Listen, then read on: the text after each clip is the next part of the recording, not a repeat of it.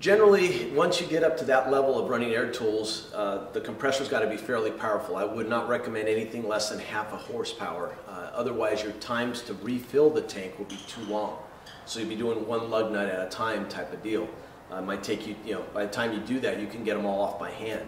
Uh, so the continuous duty motors that we have on ours start at half a horsepower, go up to three quarter horse, and all the way up to one and a half horse. Uh, by having the continuous duty motor, it stays cool, but the, the beauty is the, the, the horsepower buys you CFM, which buys you speed to refill the tank. Uh, you know, people say, oh, I can run my air tool right off a compressor. You could do that off these, but it won't be efficient because you're only dealing with whatever line pressure you have in your 20 or 30 foot air hose.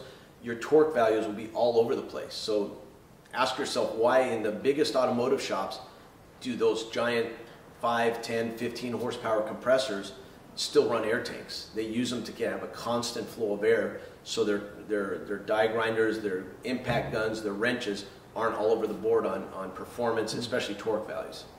The, the air tank size, you'll get more volume with the bigger tank, so it's more stored or kinetic energy.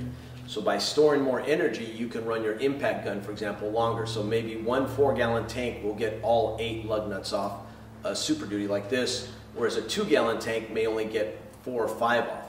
Uh, it depends on the truck. Uh, the lug nuts on a Super Duty are approximately 100 pounds of torque, as opposed to maybe you know a 60 pound torque on a lighter duty vehicle. So the more energy it takes to get the lug nut off, the more air you're going to use. Uh, one of the things that we find is a lot of customers will call and say, you know, I can't get one lug nut off with my with my impact gun.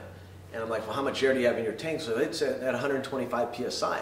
Uh, is there something wrong with the compressor? I said, well, the compressor's not even running all the energy is coming from the tank. Uh, what kind of gun are you running? If you're going to spend 30 or 40 dollars on an impact gun, it's not going to get lug nuts off a, heavy duty truck like a super duty or a three quarter ton. They're, they're just not efficient. You're going to need to spend a little bit of money to get a decent quality impact because if the tank with 125 psi isn't getting the lug nut off, it's not the compressor because it's not even running. The stored energy in the tank is running the tool. So you're going to, you know, any name brand tool will be better. Craftsman, Ingersoll Rand, Snap-on. There's a, there's a lot of them out there. But you're going to spend, you know, probably at least $100 on a decent impact gun.